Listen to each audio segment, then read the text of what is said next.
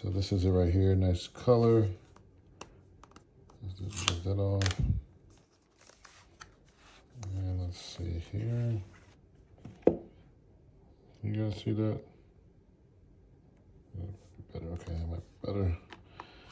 All right, so this is the pencil. Got a little wrapper thing here. Let's get that off. I don't think it should work because it's only supposed to work with the new M4 and then the M2 MacBook Air, which doesn't really make sense to me because I guess this is kind of like a M2 Air, if you think about it. All right, so so it's like having issues sticking. That's the right side. Show me right side is. Yeah, okay, so this is the right side, and I think the issue is, yeah, so it's not pairing. So there you have it, guys. It won't pair. Let's see if I can put my pen in, okay. Yeah, it's not pairing.